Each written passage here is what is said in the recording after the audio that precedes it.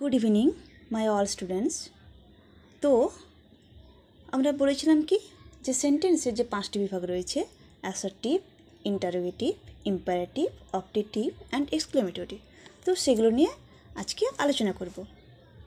তো, চলো স্টুডেন্ট শুরু করি তাহলে আজকে।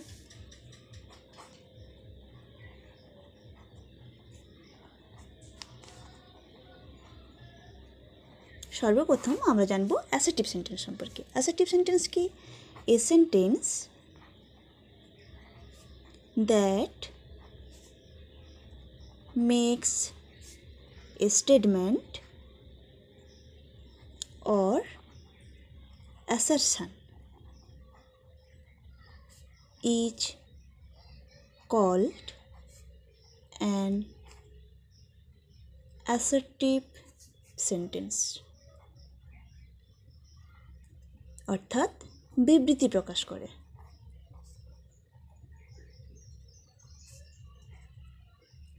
তো এর কয়েকটি ফাংশন এবং ফেজদার রয়েছে। আগে তার সম্পর্কে আমরা জেনে নিই। functions and features.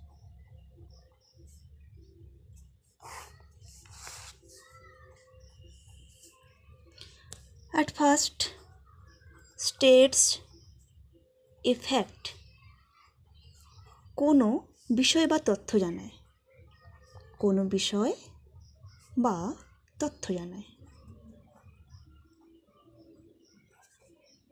Second, narrates an event. Narrates an event.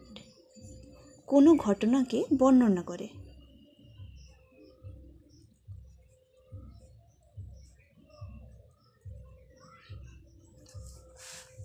third describes an object describes an object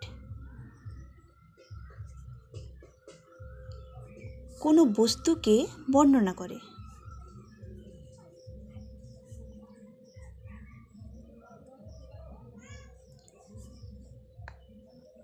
takes finite verb after subject at last ends with full stop ends with full stop तो structure की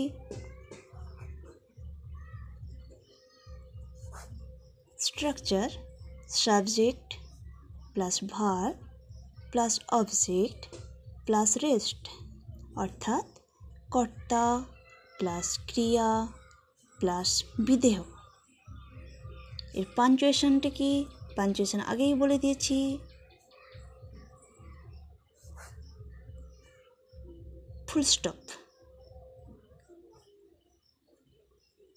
punctuation বলতে কি? কি দিয়ে শেষ হয়?